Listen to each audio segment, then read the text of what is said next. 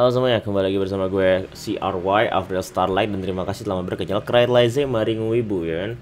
Jadi anime Summer 2023 itu udah pada mulai berguguran. Tentu aja kebiasaan atau rutinitas di channel itu adalah ngebahas tentang anime-anime yang pada udah mulai tamat ya kan? Dan anime, salah satu anime yang udah tamat adalah Eiyu Kyositsu Classroom for Heroes. Ya ini agak sedih sih kalau gue perhatikan.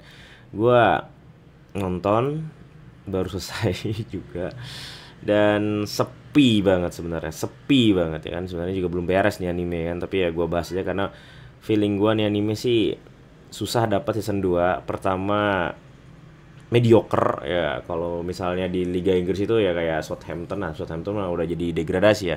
Udah kayak Crystal Palace gitu kan udah kayak Fulham gitu kan cuman huri-huri ya kan bukan Brighton Albion gitu yang lagi naik-naiknya ya kan jadi ini anime itu cuman anime seru-seruan aja ya kan? Memberikan genre yang ya pasaran banget. Apalagi kalau bukan harem school ya nah nih.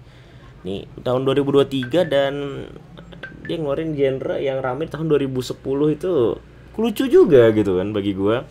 Tapi bagi gua sendiri ya desain karakternya gacor ya kan, lucunya berapet ya kan, tapi sayangnya ceritanya nggak nggak bagus-bagus amat gitu kan, cuman ya ya bagi lagi-lagi gua harus bilang jualan moe-moe doang gitu kan. Kualitas visualnya juga menurut gua kurang di upgrade untuk anime keluaran 2023. Jadi kalau secara dari review sih gua ngasih nilai rating tujuh setengah gitu ya. Tapi gua suka dengan desain karakternya yang lucu-lucu banget dan gede, tobrut ya. Tapi kalau dari sini gua perhatikan animenya cukup sulit untuk mendapatkan season 2-nya. Jadi sekitar 30% anime ini mendapat season 2 berarti 70% tidak mendapatkan season 2 itu prediksi dari gua aja. Jadi lu pada nggak usah kaget gitu kan.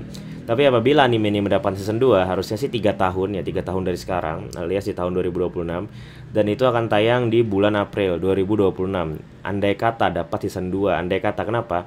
Karena menurut gua 18 bulan pertama itu konfirmasi, 18 bulan berikutnya itu baru eksekusi anime. Jadi kurang lebih perlu 3 tahun untuk menyelesaikan anime ke season keduanya itu pun kalau dapat. Jadi prediksi gue adalah winter 2026 alias Januari 2026. I'm CRY, see you next time guys.